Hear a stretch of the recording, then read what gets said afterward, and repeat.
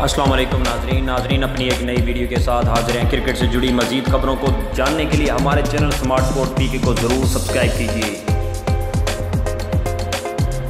मोहम्मद आमिर ने कहा है कि अगर इनके प्रोफेशनल कैरियर को सिनेमा के बड़े पर्दे पर पेश किया जाता है तो बॉलीवुड फ़िल्म नगरी के स्टार हीरो शाहिद कपूर इसे फनकार हैं, जो इनका मरकजी किरदार बखूबी निभा सकते हैं।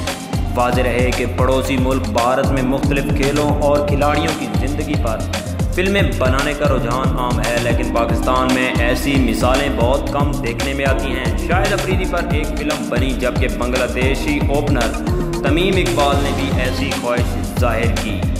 तो दोस्तों, ये थी अब तक की हमारी वीडियो। मजीद वीडियो देखने के लिए हमारे चैनल स्मार्ट स्पोर्ट्स पी को ज़रूर सब्सक्राइब कीजिए। अल्लाह हाफिज़।